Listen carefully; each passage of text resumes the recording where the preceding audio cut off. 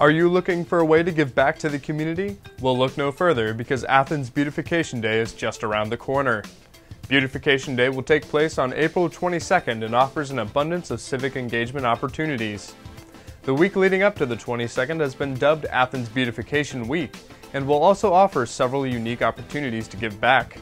One such opportunity is the chance to work with the Joint Police Advisory Council and target area graffiti.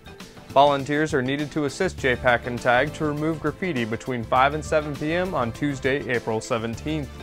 Volunteers are asked to meet at City Hall that day, with a rain check date set for Thursday the 19th. You can learn more about Beautification Day by going to the city's website. You can sign up for Beautification Day at this website, a link to which is also on the city's website.